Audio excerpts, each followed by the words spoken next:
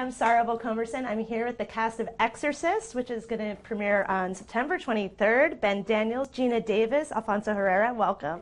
Thank you. Thank this you. is the scariest pilot. I'm just going to say it's going to be the scariest pilot of the fall because oh. it is, you know, inspired by one of the scariest movies of all time, of course. 1973 Exorcist. When did you guys all first see that movie? Oh, we were just talking about that. Really? Uh, yeah. 13. 14. 10. I think ten is too young, That's quite frankly. Yes. Oh. Uh, Yes. My well, actually, my, my little brother. He was uh, Yeah. probably seven years old. Oh. Seven. So yes. it- it- Oh, he it- just liked the pretty green. No, it, it was it was scary for, for both of us. I think he wa- he had the worst part. It's it's a scary movie, but let's talk about how you guys are doing it differently for the show because you two are both playing priests, different but very different kinds of priests. So why don't you go down and explain um, your father you role? My, fa- uh, I play Father Marcus Keane, who is the exorcist, and he's been an exorcist for 41 years. Um, uh, and he is from a very working class, impoverished, quite violent background. An event happens to him when he's like about seven or eight that uh, sort of leaves him with this um, pent up rage, which he uses in his work, but it also makes him very abrupt and abrasive. And when we meet him, he's in a complicated state where he's quite raw and unpredictable. That is a good description. that's That's me. Yes, it's very It good. is, it is. Uh, Despite your sunny personality, you're very different in the show. Uh, well, my character is Tomas Ortega. He is a priest that has this little parish outside Chicago, in the suburbs of Chicago. He has. Uh,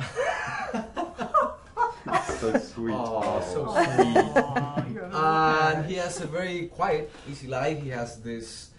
Uh, he has a very good relationship with the, his congregation, but suddenly uh, this event, uh, Geena Davis' character Angela comes to for help for Tomas, and uh, that single event is going to change his life forever, and not just his life, but also Angela's life and Yeah. Father Marcus' Marcus life. is like, Is it fair to say it's you're you're getting sort of visions, supernatural visions of things happening outside the nice suburbs of Chicago?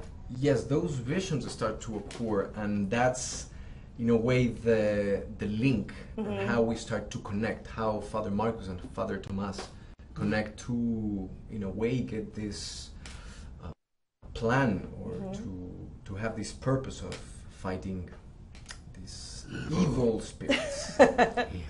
And Geena, of course, it's your household. We won't Yes. reveal who in the household is having Right, some trouble. right. But what did what? Although it's not me. It's not you. Oh, this is a spoiler. Oh, it's I not did you. spoil yeah. Okay. Um, but what made you want to do this? Because it's been a while since we, you know it's TV. And, Yeah, you know. well, no, I, I loved it. I'll, I'll work anytime as long as it's something good.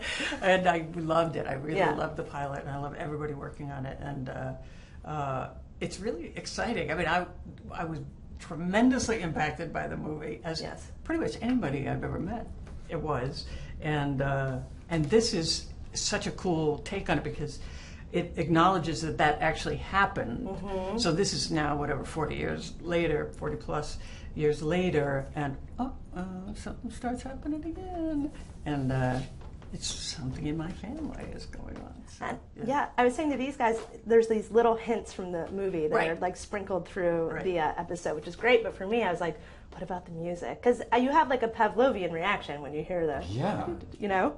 And then I will say it does come in, and Oh, it's still spoiler! really listen. It's scary. I just want people to be aware of what they're going to be dealing with. It's scary. So, can you tease what's going to happen during the rest of the season? Like, what are we going to be seeing? What can we say? it gets worse. No, A lot worse.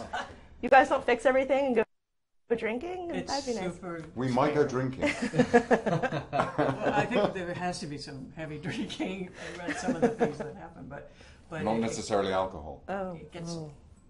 What? no, no, no, now I I'm am just making it up now. Yes. Fake spoilers. Aliens are involved. No, uh, but no, it gets it gets it, it, It gets Bigger. It gets It gets bigger, bigger. and it becomes a bigger and bigger problem, and it's super scary. Are Yeah. you? Has this made you guys start believing in, in demons? Well, weirdly, I. I, it's always lived. I'm a complete horror film nut, and it's Oh, yeah. always lived in a very fictional area for me. And when I work as an actor, I do as much research as I can. So I was like, okay, he thinks this is real. And then I started to delve into it all and got completely terrified. Really? Yeah, and it's sort of there in every culture, you know, whether it's Catholic or in the jungle or, you know, it's there in every culture that people get possessed and then someone can cure them of their possession. And even, um, yeah, it just started to freak me out. I slept with the lights on a couple of nights. Did you really? I'm completely rational. But and I spoke to, I went to see a priest, and I thought, well, the priest will just like tell me how it is. And then he, even he was like, you know, he said a couple of things, and I was like, really? And it was like a chance to really question someone. And he didn't make me feel safe. Anybody else? yeah. How's, are you guys sleeping with the lights on? Uh, uh, I get scared quite easily, especially with horror films at the at the beginning. So you can imagine my experience with when I first saw The Exorcist.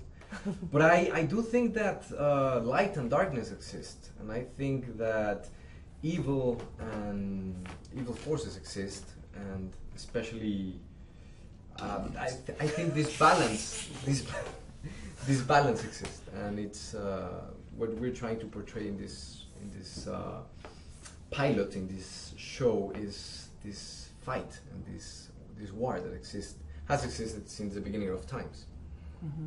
It's very heady stuff. it is. Um, well, thanks so much for coming in. Everybody watch Exorcist September 23rd on Fox. Thanks.